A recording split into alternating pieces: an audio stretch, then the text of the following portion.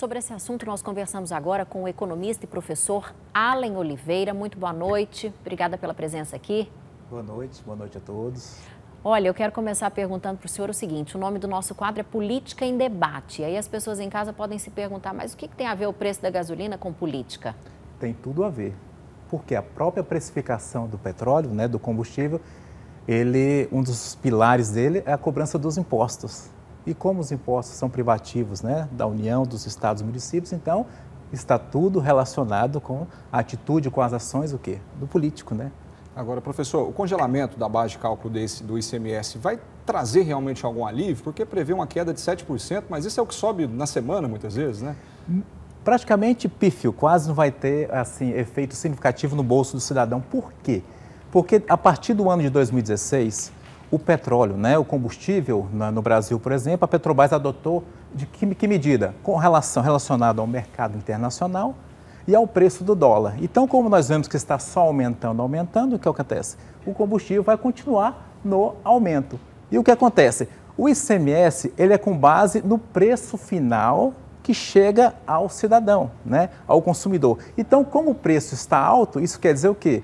Que vai continuar alto. Então, praticamente vai ser irrisório e insignificante esse congelamento do ICMS. Por quê? Já está alto e a tendência é continuar alto, então isso vai ser muito pouco sentido no bolso do nosso consumidor, do nosso cidadão. Quando a gente fala num cenário de instabilidade política também, isso reflete diretamente na desvalorização do real perante o dólar, né? E a gasolina isso. cotada em dólar. Isso porque todo o, o, cenário político ele é visualizado pelo mercado internacional, né? Pelo mercado, pela, pelas empresas. O que acontece então? Com estabilidade, o cenário fica todo em instabilidade. Com isso, a tendência é que é, o dólar vem a aumentar. E com isso, direcionamento o quê? Vai direcionar ao aumento do combustível, com certeza. O combustível, a gasolina, está caro no mundo inteiro, não é um fenômeno, fenômeno só no Brasil. Nos Estados Unidos está custando em torno de um dólar, nunca foi tão caro. Né? Então, se a gente converter, quase que dá o que a gente paga aqui. Acontece que os países, a França está estudando um subsídio.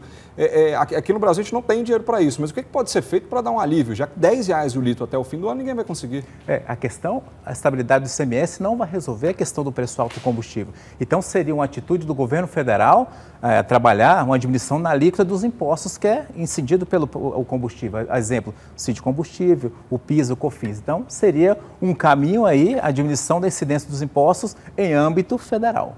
É, a gente teve, um, a gente pode se lembrar aqui da greve dos caminhoneiros em 2019, é, o, o 18. O diesel ele custava na época R$ 3,99. Hoje o diesel está aí na faixa de quanto? A gente mais tem de seis, mais de seis reais. E como isso impacta toda uma cadeia, né? Isso, por quê?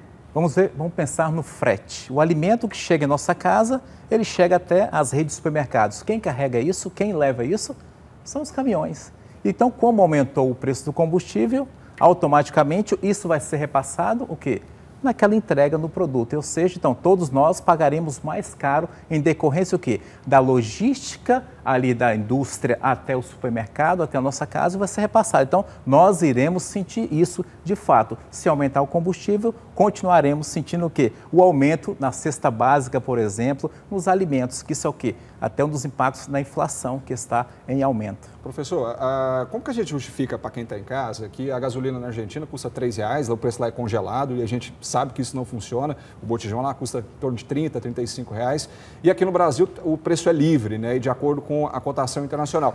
É preciso chegar no ponto de equilíbrio, congelar a gente sabe que não funciona, mas também do jeito que está, não está funcionando também. Abrir o mercado do petróleo, abrir a concorrência, quebrar o monopólio? É, na verdade, é mudar a, a política que é adotada pela Petrobras. Ela adota a política o quê? No mercado internacional do barril e a questão do dólar. Então, seria o quê? A, o estudo de uma outra possibilidade, quem sabe tirando este vínculo com essas duas variáveis para que possa é, acontecer uma diminuição aí dos preços dos, dos, combustíveis. Então a gente não deve ter um alívio tão cedo, porque a gente tem uma única empresa que apesar de ser capital aberto, tem controle estatal. Né? E a tendência do mercado internacional é de continuidade no preço do aumento do petróleo, do barril internacional e a questão do dólar. Então, o que acontece? Vamos ainda ter um insignificante aí, eu acredito, essa, esse congelamento do ICMS. É isso aí, falamos com o professor economista Anny Oliveira. A gente agradece a participação do senhor. Eu agradeço. Vamos continuar esperneando, né, professor? Vamos sim.